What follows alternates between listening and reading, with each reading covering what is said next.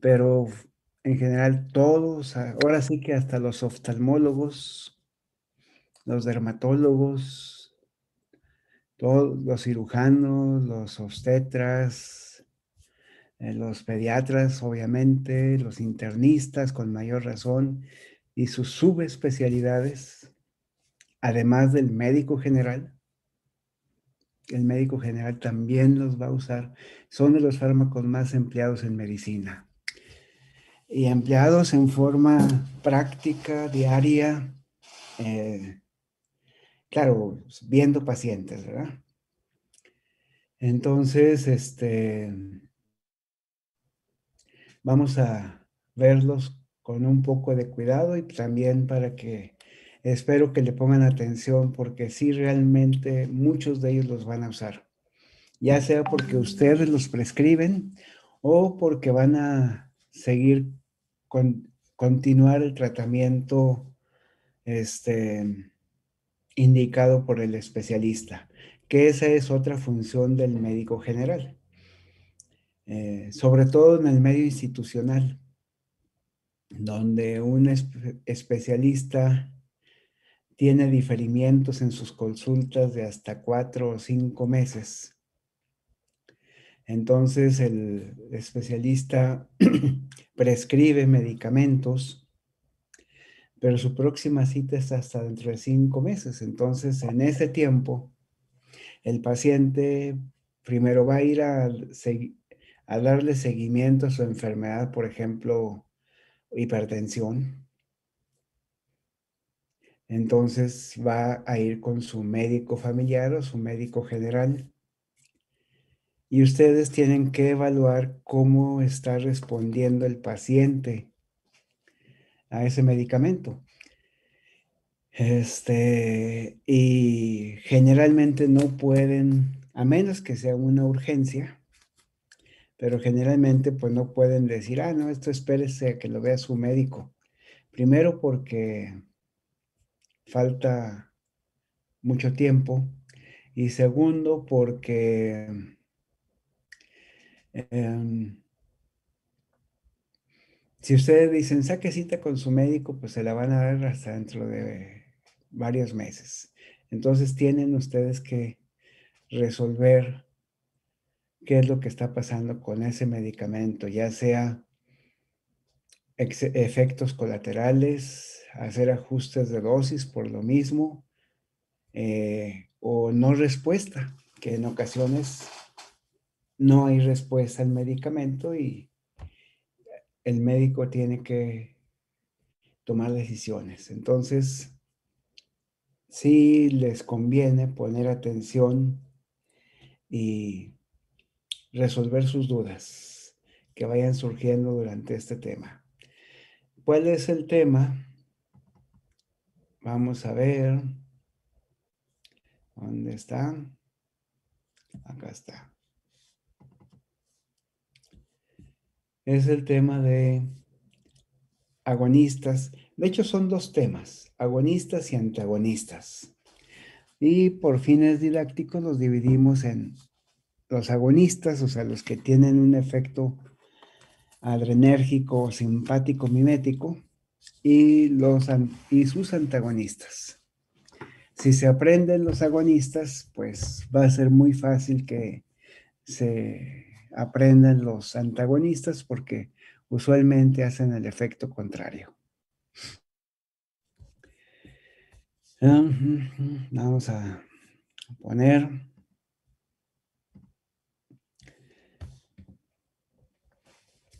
¿Cuál es? De nuevo, pues primero vamos, a tratar de sistematizar toda esta bola de medicamentos de los agonistas.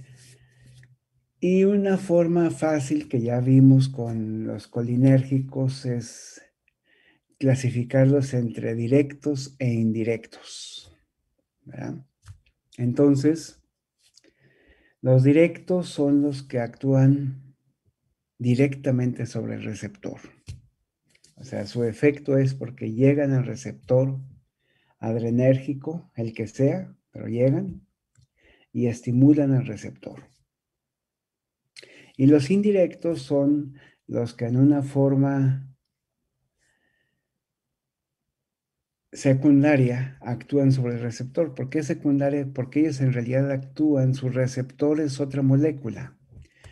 Por ejemplo, su receptor son los mecanismos, algunas de las proteínas que movilizan y liberan catecolaminas en la sinapsis. Entonces, eh, lo que van a hacer es que van a liberar catecolaminas y entonces el efecto se ve como un efecto simpático mimético, pero no es que ellos actúen sobre el receptor, sino provocan liberación de catecolaminas. Este es el caso de las anfetaminas y todos sus derivados, la tiramina, y también aquí no están, pero varios de los antidepresivos, algunos antidepresivos también provocan este efecto. Eh, la otra es la inhibición de la recaptura de catecolaminas. O sea, se libera. Bueno, la, algo que yo les platico para ver si se les queda es que la acetilcolina, que es el tema que vimos, que acabamos de ver, es un neurotransmisor y es un sistema de neurotransmisor muy simple y barato. Barato, ¿por qué? Porque se usa acetato que viene del acetilcoenzima A y les decía que los gansitos provocan mucha síntesis de acetilcoenzima A, entonces los alimentos más baratos van a producir mucha acetilcoenzima A, entonces son baratos. La, encima es barata. La colina, esa no es tan barata, pero la reciclamos. Entonces, la reciclamos íntegra. Cuando se degrada la acetilcolina, el acetato se va, quién sabe para dónde, como dióxido de carbono, este, o puede, es raro que lo haga, pero puede llegar a ser encima A también, pero lo normal es que se va como dióxido de carbono.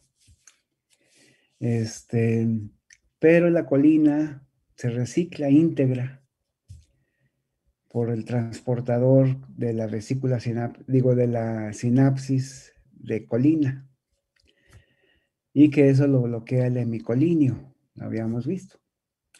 Pero este es una es un neurotransmisor baratón, así podríamos decir, en términos económicos. Pero vamos a ver que los siguientes neurotransmisores que vamos a ver entre ellos estos, los adrenérgicos, son más caros porque vienen de aminoácidos. Y los aminoácidos son caros. Ustedes a lo mejor se han dado cuenta y si no, pues pregúntenle a su mamá cómo de todos los alimentos que ustedes comen, este, lo más caro es la proteína. Es donde vienen los aminoácidos. A lo mejor se han dado cuenta cuando sus papás los llevan a comer, como si los llevan a comer unos chilaquiles, pues las cuentas salen de 100 o 200 pesos. Pero si los llevan a comer un trozo de carne, como los que acostumbramos aquí en la laguna, pues las cuentas se pueden hacer fácilmente de más de 500 o de mil pesos o dos mil pesos, en fin, todo depende de la carne que hayan comido y del restaurante. Entonces, la proteína es cara. Y los aminoácidos, por lo tanto, son caros. Entonces, con estos neurotransmisores que provienen de aminoácidos, no los destruimos, sino reutilizamos completito el neurotransmisor. Y para esto se usa un sistema de recaptura, que es decir, la, la neurona presináptica reincorpora todo el neurotransmisor, tiene un transportador que reincorpora al neurotransmisor. Y entonces es la forma como regulamos la cantidad de neurotransmisor en la sinapsis, en la henidura sináptica. De tal manera que si inhibimos la recaptura de las catecolaminas, esas catecolaminas van a durar más tiempo en la hendidura sináptica.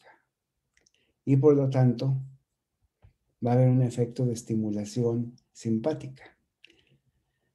Eso sería como el equivalente a los anticolinesterásicos, pero aquí no es porque destruye la catecolamina, sino porque la saca al, volverla a meter, a a la neurona presináptica, la saca de la neurona sináptica.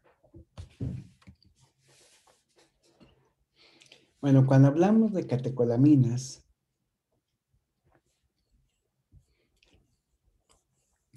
Hablamos de estas. Las tres primeras son naturales. O sea, nuestro cuerpo, nuestras neuronas las fabrican. La dopamina, la noradrenalina y la adrenalina. Si se fijan, básicamente todas tienen este grupo benceno con dos OHs. Y ese es el grupo que se, que se llama catecol. También tienen este residuo, pero ese residuo puede tener variaciones. Pero este grupo es el catecol. Y como todos tienen una amina, pues por eso son catecolaminas. Pero aquí metemos al isoproterenol, que ese es sintético, se, sintetizó, que lo que queríamos hacer era adrenalina y nos salió esta cosa. Este, y mostró tener un efecto simpático, pero diferente a los otros tres. O sea, con ciertas diferencias. Entonces, eh, pero a final de cuentas es una catecolamina, entonces lo consideramos como ellos, como una este, catecolamina. Sin embargo, no es de origen natural. Muy bien, entonces, miren, aquí está el por qué hablamos de que la, eh, las catecolaminas son neurotransmisores eh, caras. La síntesis empieza a partir de tirosina. Pero normalmente la tirosina, la, a veces sí de nuestra dieta viene tirosina, pero también la fenilalanina es la que se convierte en tirosina, nada más se hidroxila aquí. Aquí está el hidroxilo por la fenilalanina hidroxilasa. Entonces, em, esto es lo que eh, o sea, estos son aminoácidos, ya sea la tirosina que venga en nuestra alimentación de proteínas, y si no lo hacemos de fenilalanina. Y además es doblemente cara porque la fenilalanina es uno de los aminoácidos esenciales. Entonces, o sea, no, es un aminoácido que sinteticemos nosotros, sino lo tenemos que comer. Entonces, esto es lo que hace especial a la tirosina. Y bueno, pues ya tenemos la tirosina. La tirosina puede seguir sus mecanismos, metabólicos, entre ellos el hidroxifenil pirúvico. No sé si en bioquímica vieron que hay una enfermedad que se llama fenilcetonuria, que derivado de aquí, este fenilpirúvico se puede convertir en fenilacetona y puede ser, bueno, de hecho, es tóxico para el sistema nervioso central, sobre todo para el sistema nervioso central de los niños menores de seis años y entre más pequeños, más tóxico. Acuérdense de que los humanos, ya se los he dicho, creo, los humanos somos la especie de, bueno, no somos la, la especie que nace más inmadura. Nos ganan los marsupiales, pero somos de las especies que nacemos más inmaduras.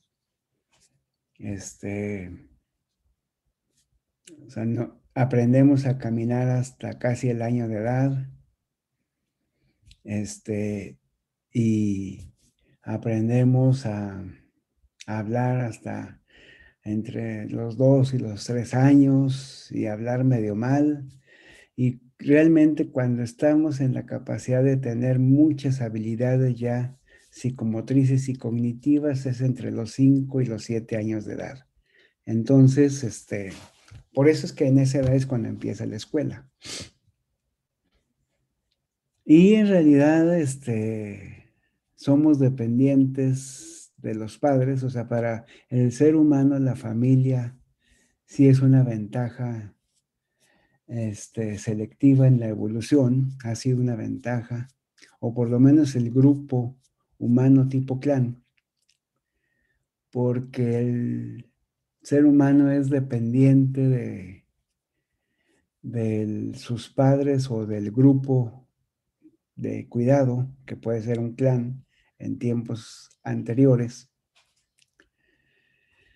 este, por 12, 14 años. Usualmente así ha sido en toda la historia, pero en los últimos siglos ha aumentado esa dependencia hasta que ahorita está llegando como a los 40 años, ¿verdad? Todavía hay hijos que a los 40 años todavía dependen de sus padres.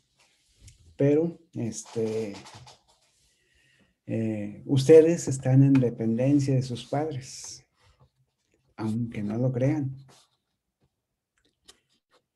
¿Por qué? Porque la crianza en los mamíferos ocurre hasta que el hijo o hija está en capacidad de sobrevivir por sí solo. Y en este mundo actual donde hay que aprender muchas cosas para poder eh, sobrevivir y tener un, una, vamos a decir, una calidad de vida este, digna, pues están en principio terminando crianza como hasta los 23, 24 años. Pero siempre hay algunos que les digo pueden llegar hasta los 40, 50 años todavía dependiendo de sus padres. Eh, entonces,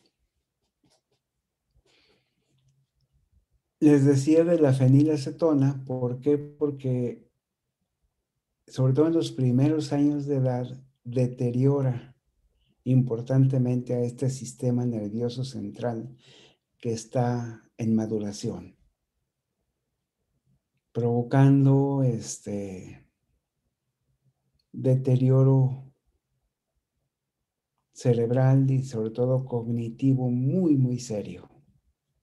Entonces, este, ahí sí se hacen dependientes de por vida. Anteriormente morían muy niños, muy pequeños. Actualmente pueden llegar a edades mayores. Bueno, ya que tenemos la tirosina, lo que viene es una hidroxilación para hacer a la tirosina que tiene aquí nada más un hidroxilo, aquí ponerle otro hidroxilo. Este es un paso bien importante. De la vía de síntesis de catecolaminas, este es el paso limitante. A ver, chicos, a ver si saben observar la vida y analizar la vida. A ver, prendan sus micrófonos los que estén despiertos. Este, ¿han ido ustedes a alguna boda?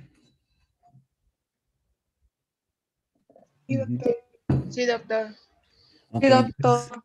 Ok, ya, ya, ya. Ya, ya con tres ya supe que están despiertos. Este, ¿han visto el juego ese que en las bodas hacen de la víbora de la mar? Sí, doctor. Sí, siempre se caen. Y hasta lo han jugado, ¿verdad? Y ahora que son chicas casaderas, ya hasta lo han jugado. Y también los chavos, también ahora últimamente he visto que también este, se ponen ahí a jugar a la víbora de la mar. Entonces, una pregunta. En esa víbora, ¿quién determina la velocidad de la víbora? Manteniéndose unida, o sea, sin que se rompa. Porque si se rompe, pues ya son dos víboras, ya no es una víbora. ¿Quién de todos los que están en la cadenita de la víbora es el que determina la velocidad de la víbora? Y que pues el primero, ¿no? El primero. El si primero. El si el primero es muy rápido, más rápido que los de atrás, ¿qué va a pasar? Los jala y se puede romper. Se rompe. Entonces, si quieren que no se rompa, ¿quién determina la velocidad de la víbora?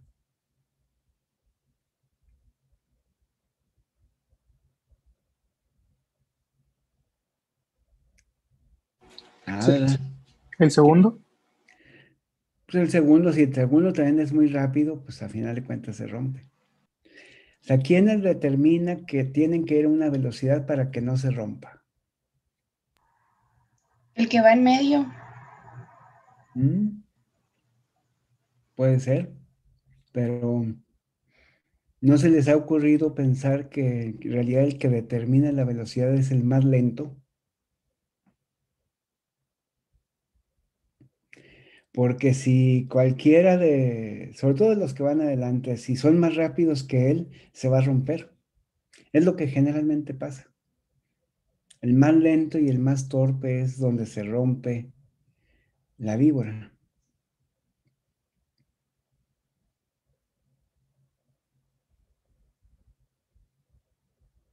Piénsenlo y van a ver que, o sea, si queremos que la víbora siga juntita, ¿verdad? Si, queremos que la víbora siga juntita, tenemos que ir a la velocidad del integrante más lento de la víbora. Si vamos más rápido que el integrante más lento de la víbora, se va a romper. ¿Qué es lo que generalmente sucede? Se rompe cada rato la víbora. ¿Por qué? Porque pues, generalmente los más locuaces son los que se ponen adelante. Entonces empiezan a jalar, pero pues no todos son igual de, eh, rápidos y ágiles como ellos, entonces pues se rompe. Claro que ahí es un juego y están divirtiéndose, pero si quisiéramos, si tuviéramos la misión de hacer esa víbora y que se mantenga unida lo más rápido posible, pero que siga unida, el que va a determinar la velocidad de toda la cadena, que es la víbora, es el eslabón más lento. Pues lo mismo ocurre con la bioquímica. En los procesos bioquímicos, el que determina la velocidad de la vía metabólica es la enzima más lenta. Y generalmente es la enzima que, por lo tanto, es la limitante, porque está limitando la velocidad del proceso. Aunque los otros sean más rápidos, ella va limitando el proceso. Y este, en la síntesis de catecolaminas, es la tirosina hidroxilasa, porque es una reacción relativamente compleja. Es una proteína que tiene tres subunidades y utiliza un donador de electrones, porque es una oxidación, y utiliza una este, un cofactor que viene del ácido fólico.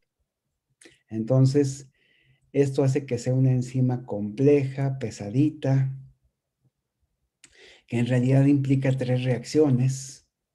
O sea, aquí nosotros nada más vemos que se pegó un hidroxilo, pero para poder pegar ese hidroxilo tuvo que llevar tres reacciones. Una reacción de oxidación y luego de reducción del cofactor y luego de oxidación del, del anillo bencénico. Entonces, eh, esto hace que la reacción sea lenta y esta es la que determina la velocidad. Y además es la reacción más compleja, de tal manera que si brincamos esta reacción, ya todo lo demás se va facilito.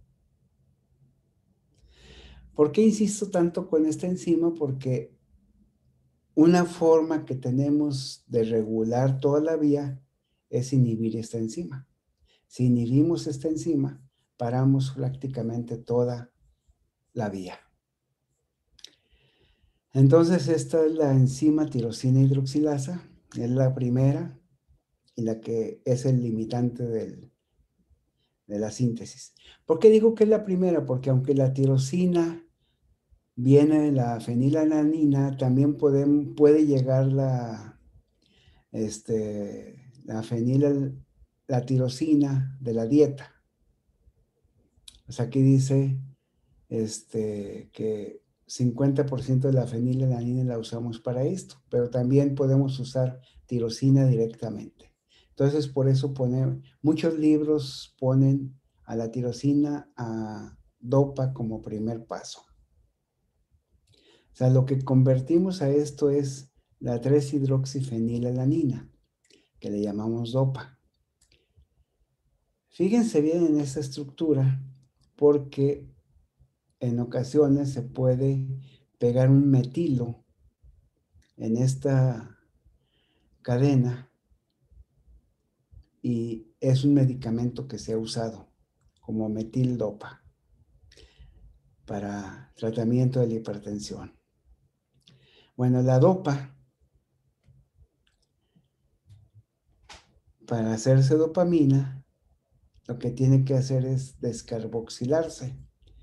O sea, este grupito que es el carboxilo del aminoácido que viene desde aquí y aquí y aquí, hay que quitarlo. Y lo descarboxilamos convirtiéndolo en dióxido de carbono. Y entonces ya queda la dopamina. Miren aquí qué bonita ya. Sin carboxilo y con sus dos hidroxilos. ¿Por qué termina aquí esta síntesis? Porque la dopamina es la primera catecolamina que se sintetiza. No es la única. Pero aquí este esquema, que está más o menos completo, nos ayuda a entenderla. Aquí está ya la vía completita. Este, la fenilalanina, como vimos, se convierte en tirosina por la fenilalanina hidroxilasa y luego la tirosina hidroxilasa, que es esa enzimota compleja que vimos, así platicamos ahorita, este, le pega el segundo hidroxilo para hacerlo grupo catecol y queda dopa.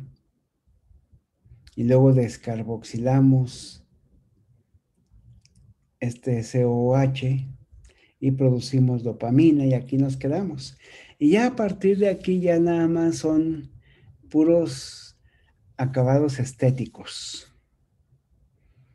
Si a la dopamina la queremos convertir en norepinefrina, le ponemos un hidroxilo aquí en el carbón 2. Y ya tenemos norepinefrina. La norepinefrina es interesante e importante porque es el principal neurotransmisor adrenérgico que utilizamos, sobre todo en el sistema nervioso periférico, o sea, autónomo periférico, el simpático.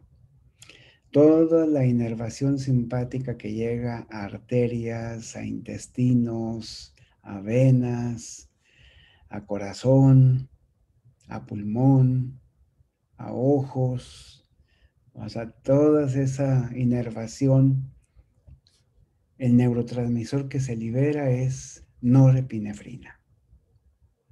O sea, con el que regulamos nuestra temperatura y nuestro ritmo cardíaco es con norepinefrina. Pero para los sustos, lo que hacemos es a este grupo amino le metemos un grupo metilo aquí y hacemos epinefrina. Y la epinefrina, esa no es neurotransmisor propiamente, aunque en el cerebro se puede secretar como neurotransmisor por algunas vías neuronales. Pero casi todas usan norepinefrina o dopamina. En el la dopamina es un neurotransmisor que se usa principalmente en cerebro. Pero la epinefrina es básicamente una hormona de secreción interna, o sea, se comporta como una hormona de secreción interna, o sea, la secreta la médula suprarrenal y es la que nos sirve para salir de atolladeros.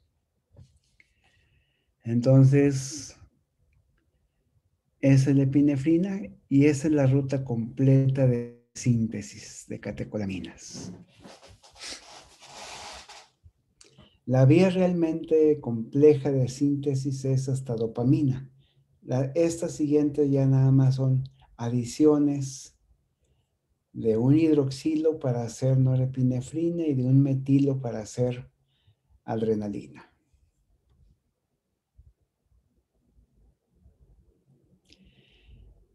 Esta es otra razón por la que las catecolaminas son caras. Porque primero dijimos que porque se usan aminoácidos. Bueno, fenilalanina o tirosina.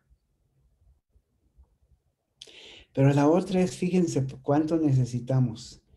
Ya teniendo tirosina, empezando de tirosina, necesitamos una, dos, tres enzimas. O sea, tres proteínas necesitamos para hacer norepinefrina. necesitamos tres trabajadores sumamente especializados para hacer norepinefrina. Y construir esos enzimas cuesta.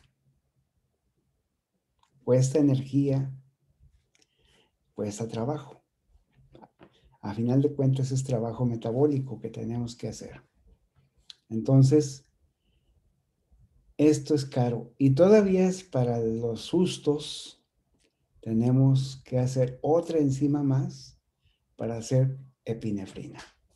Entonces, por eso este es, por eso se prefiere recapturar, no se, no lo destruimos, sino este, lo reutilizamos. Hay un libro de bioquímica que cuando anden sin qué hacer, lo pueden revisar. Queda más claro en las ediciones viejas, pero también la nueva lo traen es un libro de bioquímica que su autor inicial se apellidaba Leninger. Digo que se apellidaba porque ya se murió, pero se sigue editando.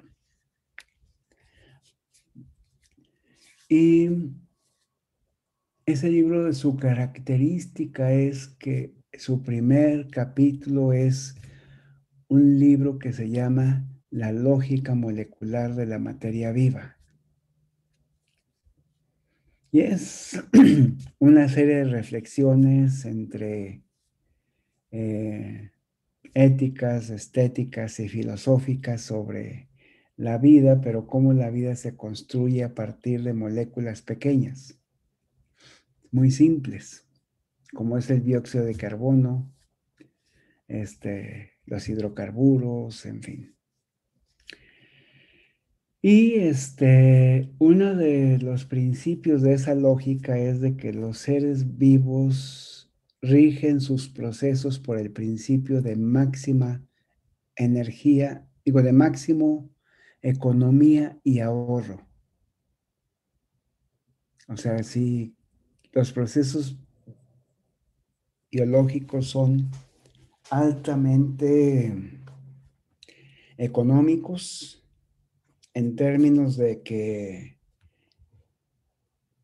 gastan lo mínimo de recursos. Eh, y aquí es donde se ve, o sea, en este proceso que es relativamente costoso desde el punto de vista energético, no destruimos a los neurotransmisores, sino los reutilizamos. Entonces, sigue ese principio de máxima economía. Y esto aquí es donde lo vemos. Bueno, aquí no se ve, en realidad. Esta es una visión muy simplona de la neurotransmisión adrenérgica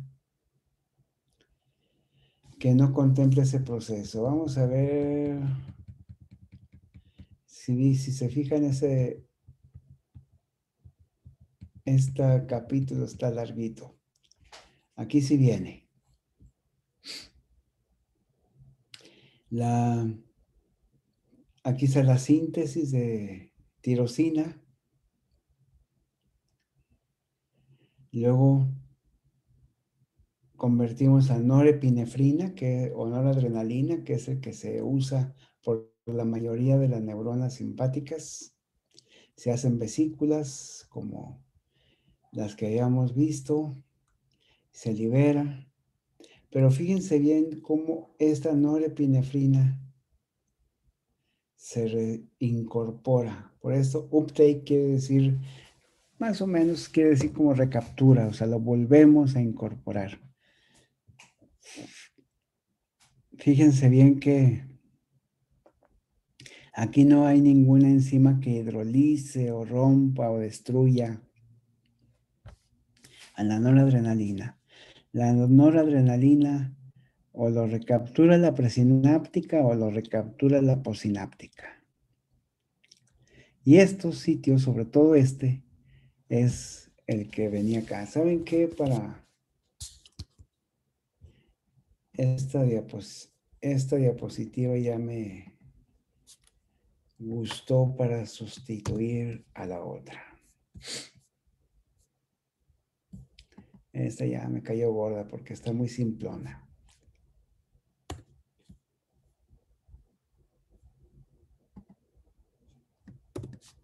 Ok. Entonces ahora estamos aquí.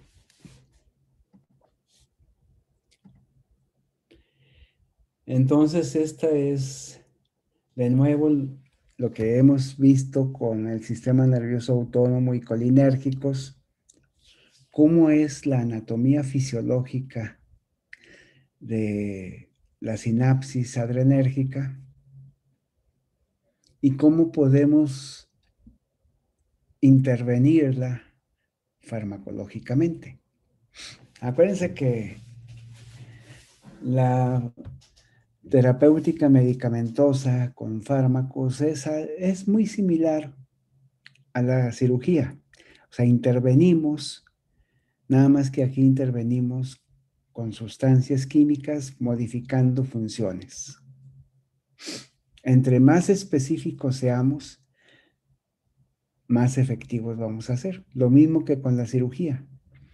Cuando usamos cuchillotes y serruchos y taladros y cosas de esas, pues es por cirugías muy gruesas, este, muchas veces muy destructivas. En cambio, cuando usamos este, eh, bisturís muy finos, lo hacemos todo con microscopio y este, incluso usamos, podemos llegar a usar eh, eh, bisturís de tipo láser o incluso algo que es parecido, conceptualmente es como un bisturí, aunque no lo es, que usamos este, haces de rayos gamma o, positrones, este, podemos hacer todavía cirugías más este, finas todavía. Entonces, entre más fino sea el proceso, más eh, capacidad vamos a tener de hacer lo que queremos hacer sin dañar. Aquí es lo mismo. Entonces, por eso mucho del, hay tanto fármaco, porque queremos ser mm, lo más selectivo posible en este proceso. Entonces, ahorita vimos la síntesis. Ya tenemos aquí la noradrenalina. Ya lo habíamos visto algo parecido a esto en sistema nervioso autónomo, donde hay en la sinapsis, en la neurona presináptica, hay un monstruo, come aminas, porque no nada más come la adrenalina, come casi todas las aminas, que se llama la monoamino oxidasa.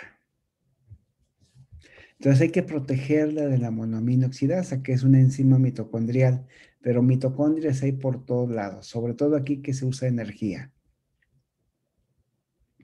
Entonces, para proteger esta noradrenalina de la monoamino oxidasa, la metemos a una vesícula. Y eso lo hace un sistema de, de eh, traslocación que puede ser inhibido por un fármaco que llamamos reserpina.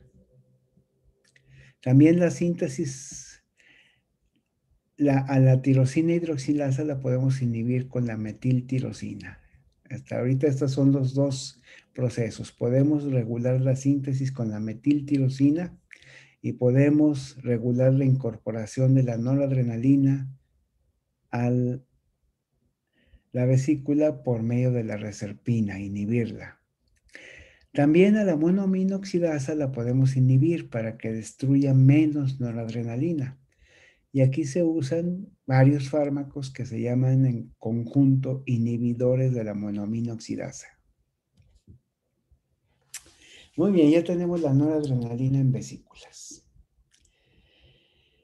Cuando llega el potencial de acción, y que eso no viene aquí, pero cuando viene el potencial de acción, este, se entra calcio libre y el calcio libre va a provocar que haya una exocitosis de esas vesículas. Entonces vamos a anotar por aquí al, al calcio para que no se les olvide. Vamos a poner pluma. Para que se libere esto, necesita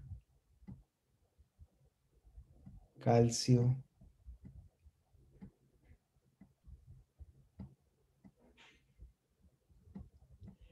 libre. O sea, estos son dos crucitas, ¿eh? Es una crucita aquí y una crucita aquí. O sea, calcio bivalente, iónico.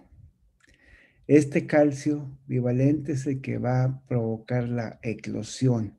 Entonces, si queremos disminuir la exocitosis de noradrenalina, este, uno de los mecanismos que tenemos es eh, inhibir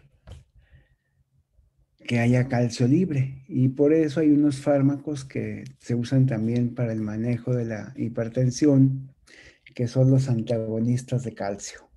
En realidad no son antagonistas de... Bueno, hay unos que sí antagonizan aquí, pero hay otros que antagonizan en realidad los canales de calcio. Em, luego ya la noradrenalina, pues va a llegar a sus receptores que habíamos visto, visto que había alfa y beta en el caso de la noradrenalina.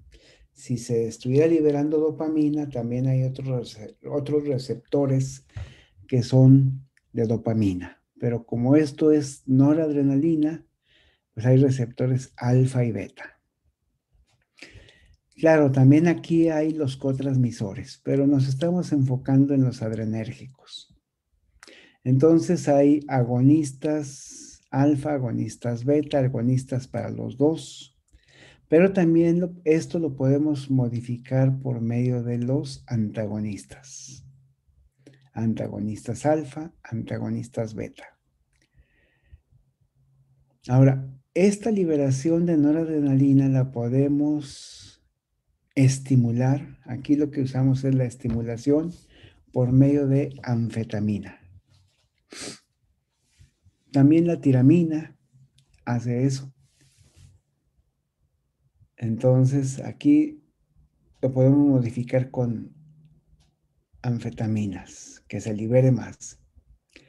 Habíamos hablado de la recaptura y esta lo podemos inhibir. Aquí está. Y un ejemplo muy usado, no en medicina, pero muy usado, es la cocaína. La cocaína, su efecto estimulante simpático, mimético, indirecto es porque inhibe este, este canal de recaptura. Además, la neurona presináptica también tiene receptores de noradrenalina, que generalmente es, este, son, normalmente son receptores alfa 2. O sea, de los alfa, pero alfa 2. Los alfa 2 son inhibidores. Entonces, si damos un agonista alfa 2, vamos a estimular, este, inhibir la, eclosión, la exocitosis de noradrenalina. Hay antagonistas también alfa 2 que no se usan en medicina. Este proceso casi no, no nos no ha producido realmente un efecto clínico. Sí existe y sí se puede estudiar, pero en eh, medicina clínica no ha tenido una utilidad práctica. Les hablaba de la metildopa, o sea, de que a este fármaco de dopa le podemos poner un, metilo, generalmente es en este carbono. Entonces, la metildopa lo que provocaría sería una metilnoradrenalina que se puede liberar, pero la metilnoradrenalina no es noradrenalina, entonces no la reconocen los receptores y por lo tanto no, no provoca efecto. Por eso se usó y se sigue usando cada vez menos como antihipertensivo. Entonces, este es un resumen de lo que vamos a ver en este tema. Esta presentación ya está en su plataforma donde dice material de apoyo de eh, adrenérgicos. Entonces lo pueden bajar Bueno, jóvenes, pues eh, aquí le dejamos para seguir con este tema mañana. Gracias, doctor. Hasta mañana.